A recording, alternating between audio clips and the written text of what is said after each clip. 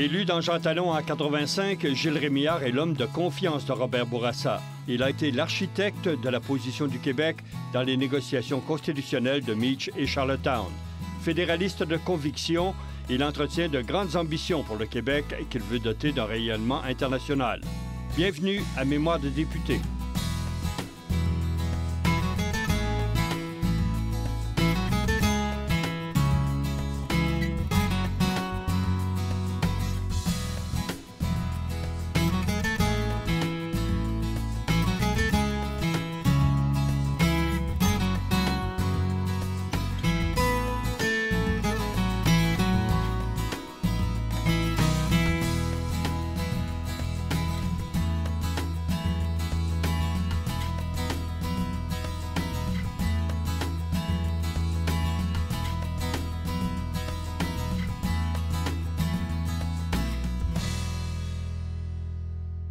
Bonjour, M. Rémillard. Bonjour, M. Morin.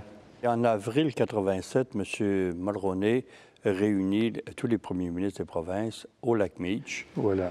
Et euh, il y a finalement une entente entre tout le monde. Est-ce que ça a été difficile à obtenir? Je fais ma tournée des provinces. Je vois M. Bourassa, je lui fais le compte-rendu de mes rencontres. Le bilan, la conclusion, c'est que c'est On a du travail à faire, c'est pas, c'est pas, c'est pas fait là, loin de là. Mais il y a une ouverture d'esprit, il y a une possibilité de faire des choses, c'est là. M. Bourassa euh, dit, écoute, euh, moi je vais en parler à Brian, et euh, toi, parle-en au sénateur Murray pour voir comment maintenant on peut agir. Alors moi, je rencontre le sénateur Murray, et je dis, ben, sénateur, voici pour nous la conclusion de notre tournée canadienne. Elle me dit, euh, c'est à peu près ce que nous comprenons de la situation. Et on trouve que c'est bien engagé. Il y a encore des difficultés. Attention, il ne faut pas les minimiser. Et on y travaille. Mais vous la même lecture qu'on a. Alors, euh, et le premier ministre Maloney confirme la même chose à Bourassa, à M. Bourassa. Et après deux ou trois mois comme ça, on reçoit un téléphone d'Ottawa et ils ont dit euh, on a une idée, on voudrait le faire euh, au chalet du lac Meach. Ah, on trouvait ça un petit peu au départ, oui. Bon, qu'est-ce que c'est ça? Oui, parce que c'est un, cadre qui est moins formel. Euh, on peut sortir à l'extérieur plus rapidement puis aller se parler. bon, euh, il, y a, donc, on voit des possibilités plus intéressantes pour des discussions qui vont être probablement difficiles. Alors, on trouve ça très bien. On a dit, bon, voilà, c'est une bonne approche, bonne stratégie. Et aussi, le, premier ministre Mulroney, qui était un grand négociateur, euh, se trouvait bien à l'aise dans un contexte comme celui-là. Alors, on se retrouve au lac Meach. Et les discussions débutent début d'après-midi, tout le monde ensemble. Puis ensuite, on dit, bon, voilà, les ministres, euh, vous allez discuter de certains points plus techniques. Euh, les, ministres, les premiers ministres ont à discuter euh, de certaines orientations et il faut qu'on puisse avoir tout d'abord une bonne compréhension de ce que vous voulez au Québec. Et comme ça, les discussions ont eu lieu. Premier ministre Bourassa sortait, euh, venait nous voir. Nous, parfois, on demandait de le voir, on échangeait nos informations, comment les choses évoluaient. Et puis, ça allait quand même assez bien. Ça allait assez bien. Euh, on se rend compte que ce qu'on avait vu et entendu pendant notre tournée canadienne, on le retrouvait à la table. Arrive euh, donc évidemment le point le plus difficile sur le plan politique. C'était pas le droit de veto, là. Ce qui était le plus difficile au point de vue politique, c'était ce concept de société distincte. Et là est arrivé un événement. Il y a donc les premiers ministres, présidés par le premier ministre Mulroney, qui sont en discussion sur ce contexte de société distincte. Et on sait que c'est très dur Il y a des premiers ministres qui ne comprennent pas exactement ce que ça veut vouloir dire. Et puis, euh, c'était pas facile à voir qu'est-ce que ça pouvait vraiment signifier, société distincte, pour mettons-nous à la place de, de l'autre côté de la table. Hein. Pas évident. Alors, M. Bourassa était là, discutait, il y avait, il y avait une bonne discussion, c'est ça. Et le téléphone sonne euh, dans la hall où nous étions en rencontre, les ministres, avec nos conseillers. Et quelqu'un prend le téléphone et on dit euh, c'est M. Lévesque, ministre Lévesque, euh, il veut parler au premier ministre Bourassa. Alors, je, je vais prendre l'appareil. Je prends l'appareil et puis je dis Monsieur Lévesque, ça va? Non, ça va pas bien. C'était Gérard D. C'est Gérard D. Lévesque. Il me dit non, ça va pas bien. Ah bon, ça va pas bien. Je veux parler au premier ministre. Ben, c'est parce qu'il est en discussion, puis ils sont en train de parler de justement cette question de société distincte. Et il paraît que c'est pas facile. C'est très difficile. Je veux parler au premier ministre. Ben, j'ai dit, Monsieur Lévesque, attendez, euh, euh, justement, Jean-Claude Rivet est à côté de moi, euh, je vous le passe. Jean-Claude prend l'appareil, parle à Gérard D. Et finalement, euh, il me dit, il dit Gérard, attends, je vais voir si on peut faire sortir le premier ministre. Alors, on lui écrit un petit mot. Premier ministre Bourassa, Gérard Lévesque vous demande de vous voir et c'est urgent. De vous parler, dis-je, et c'est urgent il y a quelqu'un qui part avec ce message, donne ça à M. Bourassa. Et M. Bourassa sort. Il me dit, euh, il nous dit, mais qu'est-ce qui se passe? Ben, voilà, on vient d'avoir un téléphone de Gérard qui va absolument vous parler et il nous dit que c'est urgent. C'est qu'il y a eu une fuite. C'est le budget de M. Lévesque qui est en préparation. M. Lévesque, euh, qui est ministre des Finances. Alors, son budget, doit être présenté euh, dans les jours suivants. Vous savez le principe qu'un budget doit demeurer secret. Et s'il y a fuite, si le budget est connu avant, c'est le ministre lui-même qui est responsable.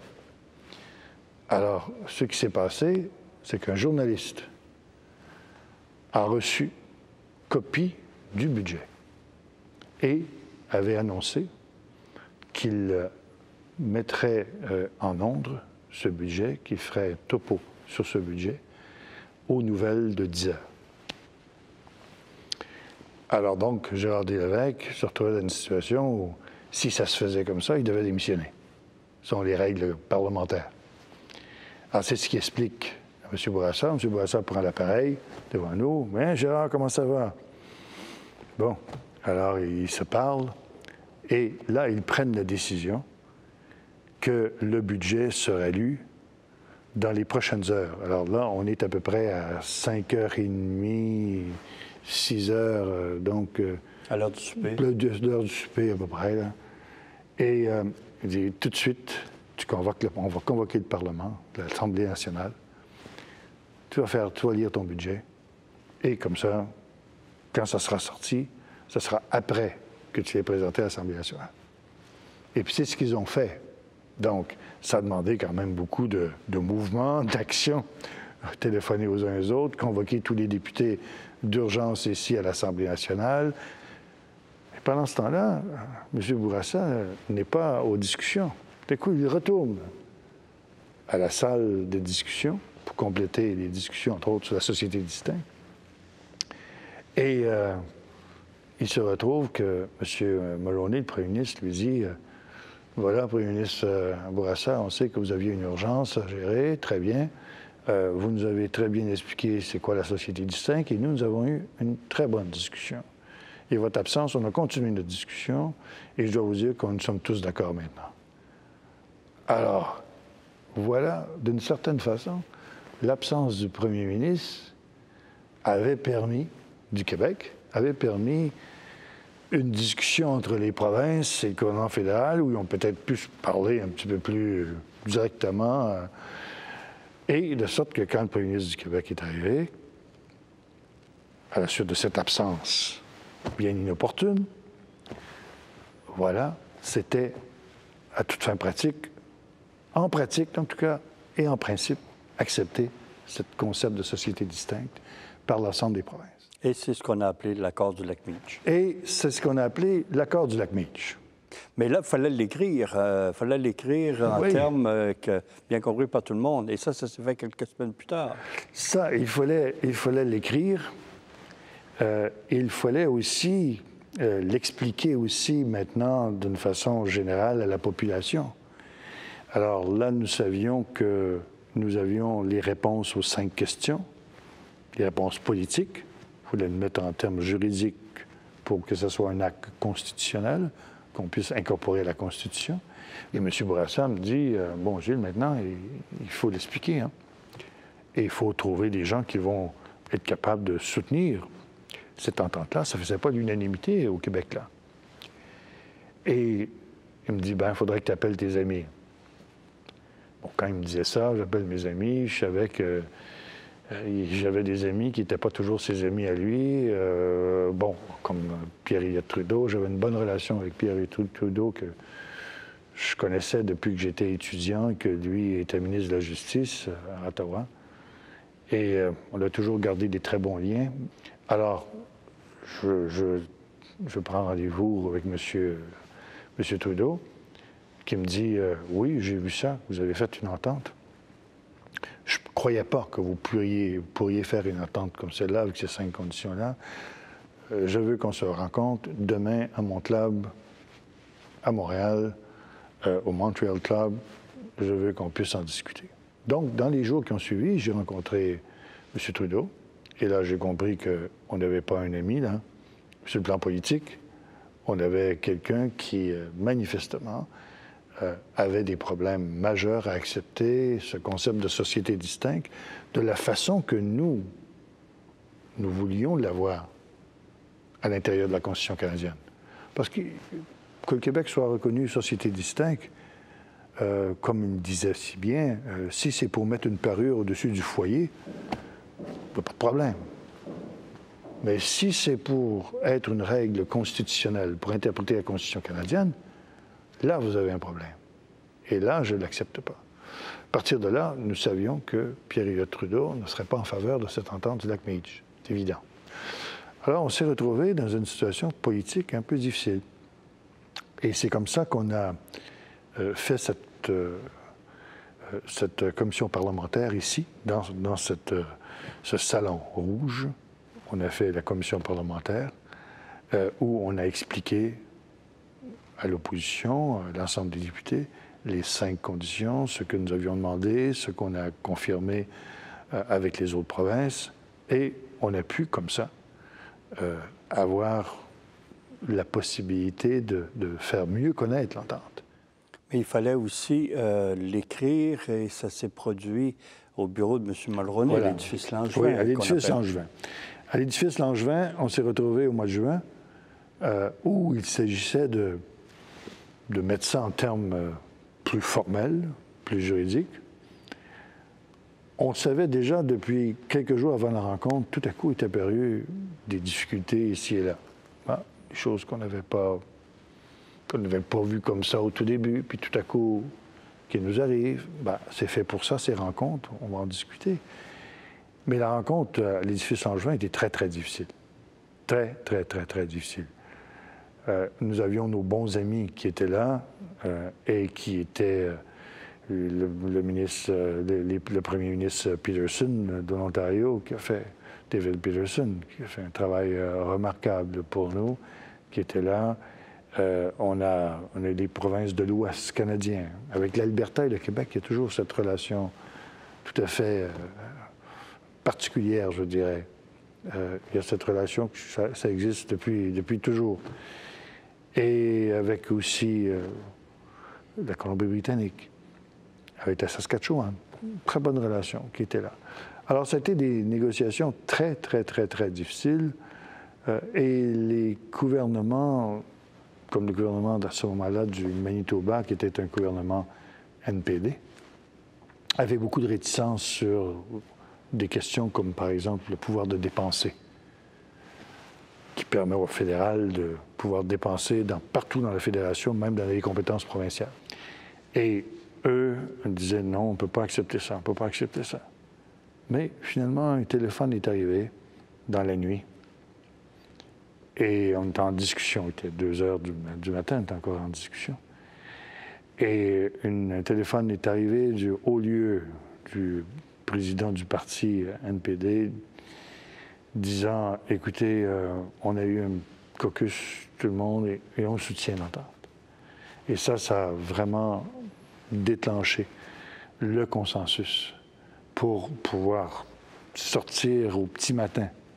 Au petit matin, on est sorti de cet édifice, l'édifice Langevin avec une entente et prêt pour aller maintenant formaliser tout ça dans une rencontre plus formelle au centre des conférences d'Ottawa. Alors, on a terminé notre rencontre le matin vers 5h, 5h30 du matin. Et euh, à 9h30, 10h, 10h, débutait cette rencontre formelle, où c'était un grand moment pour nous. magnifique moment. Euh, il y avait cette signature, tout le monde qui était là, mais il y avait encore une chose qui nous préoccupait.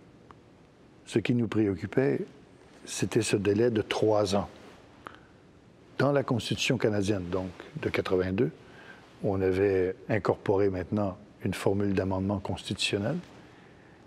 Et cette formule d'amendement était basée sur une période de trois ans. C'est-à-dire qu'un amendement constitutionnel débute par une résolution votée par une province ou par le gouvernement fédéral. Et vous avez trois ans pour que cette résolution puisse avoir sept provinces qui totalisent 50% de la population, euh, ou bien dans d'autres conditions l'unanimité, mais qui réunit euh, toutes les conditions nécessaires pour faire un amendement formel. Donc trois, ans. ans. C'est trois ans. Et nous, ça nous paraissait très long. On dit, dans trois ans, qu'est-ce qui va se passer? Vous avez neuf provinces canadiennes 10 avec le Québec, neuf provinces canadiennes, vous avez un gouvernement fédéral. Parmi les neuf provinces canadiennes, nous savions qu'en Ontario, c'est un gouvernement minoritaire, donc il y aurait des élections. Mais aussi, on savait qu'au niveau Brunswick, euh, il y avait des élections. On savait que du côté de la Colombie-Britannique, il y avait des élections. On savait donc qu'il y avait un mouvement électoral dans, dans les prochains mois. Alors, on a proposé qu'on puisse, chaque province s'engage à cette rencontre euh, qui confirmait Mitch, s'engage dans les six mois à voter une résolution. Alors là, les provinces nous disent c'est très difficile. Parce qu'il y a des gouvernements qui voulaient aller en élection et qui disaient ben moi, je ne veux pas passer cette résolution-là avant d'aller en élection. De sorte que il y avait de réticence pour les six mois. Alors, on est sur, sur le plancher de cette euh, conférence. C'est la dernière chose qu'on voudrait avoir. Et finalement, le premier ministre euh, Mulroney et le sénateur Murray viennent nous voir et nous disent écoutez, là, vous aviez cinq conditions. Vous avez obtenu vos cinq conditions. C'est un grand moment aujourd'hui, là. C'est un grand moment pour le Québec. C'est un grand moment pour l'histoire du Canada. Ne forcez pas plus vous aussi, vous devez faire des compromis. Laissez tomber ce six mois. On s'en tient à ce qui est prévu dans la Constitution de trois ans. Malheureusement, vous savez la suite des choses.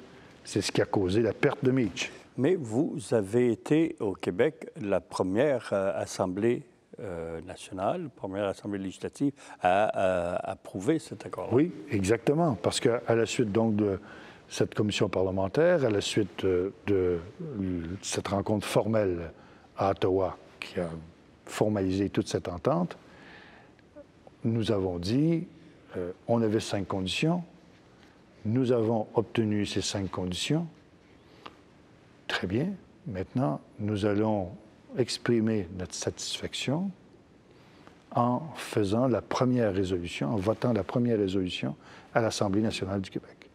Donc, ce 23 juin 87, on vote une résolution qui euh, est votée majoritairement parce que le gouvernement libéral alors est majoritaire. Et euh, on enclenche par le fait même le processus du trois ans. Parce que trois ans se calcule à partir de la journée où a été votée la résolution. Et là, les mois passent et on sent une euh, réticence, en particulier au Manitoba, au Nouveau-Brunswick, euh, Terre-Neuve. Mais vous, vous demeurez optimiste. Qu'est-ce qui vous rend optimiste? Les, résolutions commencent à se faire. Alors, c'est le Manitoba ensuite qui suit le Québec, euh, qui exprime sa satisfaction. C'est la Colombie-Britannique, l'Alberta. Donc, les provinces de l'Ouest vont bien. Euh, du côté de l'Atlantique, euh, vous avez l'île du Prince-Édouard, vous avez la Nouvelle-Écosse qui est là. mais du côté du Nouveau-Brunswick, il y a un changement de gouvernement. Et ce gouvernement de M. McKenna s'est fait lire en disant ben nous, en tant que là, on n'est pas prêt à ça, on veut qu'il y ait des compléments. On veut aussi que ça comprenne le Nouveau-Brunswick, la société acadienne en particulier. Alors, à partir de là, il y a une difficulté au Nouveau-Brunswick. Du côté de Terre-Neuve, il y a aussi un changement de gouvernement. Et du côté de Terre-Neuve, on sait qu'il y a aussi une difficulté parce que nos amis de Terre-Neuve ont toujours un petit peu euh, en arrière-pensée, je dirais, ce contrat avec Hydro-Québec pour Churchill Falls, où ils considèrent qu'ils se sont fait avoir au Manitoba, il y a une situation politique aussi où le premier ministre Philman est minoritaire, va avoir des élections, il ne veut pas faire immédiatement l'entente, voter l'entente immédiatement. Combien de temps va-t-il être en place comme minoritaire? Est-ce qu'il va être élu? Bon, les questions sont là. Et à partir de quel événement ou circonstances avez-vous senti que là, il y avait des, des gros morceaux de sable dans l'engrenage? est arrivé des événements comme, par exemple, la loi 178. Ici, Ici au Québec. Euh, cette loi sur l'affichage faisait suite à une décision de la Cour suprême sur l'utilisation de la langue française, de la langue anglaise dans l'affichage. Mm-hmm. Le Québec avait voté cette loi 178 à la suite de la décision de la Cour suprême qui disait que l'unilinguisme n'était pas euh, acceptable. On ne pouvait pas exiger une seule langue pour l'affichage, euh, mais on pouvait permettre deux langues avec une priorité du français, ça allait. Mais, alors, bref, on a fait cette loi de la loi 178 où euh, la langue à l'intérieur des commerces pouvait être le français ou l'anglais, avec prépondérance du français, mais à l'extérieur du commerce, sous l'affichage, à l'extérieur, seulement le français. Alors pour nous, on, jouait sur les mots et pour moi, c'était une période extrêmement difficile parce que j'étais solidaire du gouvernement, euh, mais c'était, c'était très, très, très difficile. C'était pas votre recommandation? Pas ma recommandation, et même pour le premier ministre Bourassa, je pense que je peux dire que c'était pas facile. On considérait que c'était une première étape. Mais euh, ce qui s'est passé, c'est que cette loi a été votée. Et cette loi a voté, un, ça a été un tollé. Les députés libéraux anglophones ont démissionné. Et dans le reste du Canada aussi, dans les autres provinces canadiennes, ça a eu ses répercussions. Je me souviens d'avoir reçu un téléphone euh, du ministre de la Justice du Manitoba qui me dit euh, Gilles, si vous votez cette loi, moi, je dois te dire qu'on va avoir de la difficulté, nous, à voter la résolution pour Mitch, parce que là, les gens vont faire la relation de société distincte et cette loi qui empêche l'affichage en anglais chez vous. Et je peux te dire que j'aime mieux te prévenir immédiatement. Nous, je ne crois pas qu'on puisse voter la résolution. Mais ça a été un élément qui a fait qu'au Manitoba, il y a eu une sensibilité. Ce n'est pas, pas, le seul élément. Il faut comprendre aussi qui est arrivé à ce moment-là, pour le Manitoba, la décision très politiquement courageuse du gouvernement Maloney de transporter tout l'entretien des F-18 qui étaient au Manitoba ici, à Montréal, pour construire l'industrie aérospatiale du Québec. Mais nos amis du Manitoba, je ne peux pas vous dire qu'ils ont applaudi à la décision, eux. Mm-hmm. Et pendant tout ce temps-là, nous, on attendait qu'ils présentent leur résolution pour approuver Mitch devant leur Assemblée. Et puis ensuite, il y a eu cette rencontre euh, pour les Autochtones. Alors, ce qui s'est passé, c'est dans la Constitution de 82, on a inclus qu'il y aurait cinq rencontres fédérales provinciales sur les Autochtones, la place des Autochtones dans la Constitution. On voulait avoir des gouvernements autochtones autonomes. Et la cinquième rencontre a lieu donc en 87. On est dans une situation à ce moment-là très difficile, le gouvernement du Québec, parce qu'on a suivi la même politique que le gouvernement péquiste qui nous a précédés. Comme le Québec n'est pas membre à part entière de la Constitution canadienne de 82, tant qu'on n'a pas signé cette Constitution-là, euh, on peut aller aux rencontres fédérales provinciales, mais on ne peut pas, on ne votera pas. On va être là pour défendre les droits du Québec, mais on ne votera pas. Alors, le premier ministre, euh, M. Bourassa, reçoit donc euh, des appels pour lui demander de participer à cette rencontre fédérale provinciale sur les Autochtones comme étant la dernière possibilité pour en arriver à un accord sur ce gouvernement autonome pour les Autochtones. Alors donc, M. Bourassa dit, moi, comme premier ministre, je n'y vais pas. Je n'irai pas à la conférence fédérale provinciale. Toi, je tu y vas. Et tu y vas, tu vas parler, tu vas exprimer la position du Québec, mais tu ne votes pas. Des provinces sont contre, d'autres sont pour. Et arrive le vote.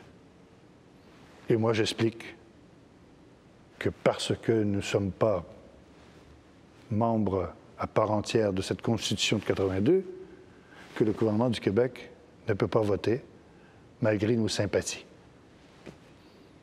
Et la résolution n'a pas été adoptée à cause de la position du Québec. Et ça, les Autochtones ne vous l'ont pas pardonné. Je me souviens encore, c'était un moment émouvant que j'ai vécu euh, dans ma vie politique.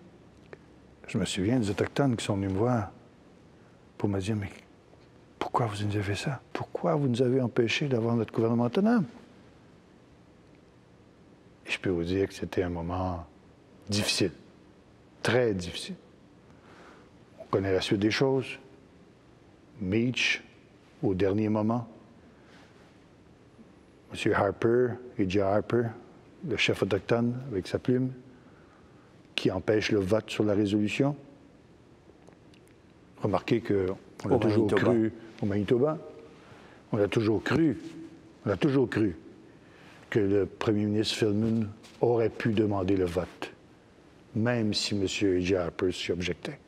Écoutez, faites le vote quand même, puis s'il s'objecte, et s'il y a un problème après, même les tribunaux décideront mais au moins voter la résolution. Le premier ministre Finman a décidé non, qu'il ne votait pas. Ça a été la fin. À Terre-Neuve, le premier ministre Wells, qui avait promis de faire le vote, des délégations de gens d'affaires s'étaient rendues là pour la convaincre d'appuyer la résolution. On a rencontré M. Wells, je l'ai rencontré personnellement avec les conseillers constitutionnels, expliqué société distincte, expliqué tout ça. Mais M. Wells avait, des réticences un peu à la Trudeau, parce que le premier ministre Mulroney s'est même rendu à Terre-Neuve et a eu un, dîner chez le premier ministre Wells. Et quand il est revenu, il nous a téléphoné pour dire écoutez, moi, j'ai l'accord du premier ministre Wells qu'il y aura un vote. Qu'il y aura un vote. Lui, Wells ne m'a pas dit qu'il votera en faveur. Probablement qu'il va s'abstenir. Mais c'est déjà beaucoup. Parce que de par nos calculs, on va gagner par deux ou trois voix. Merci, M. Rémillard.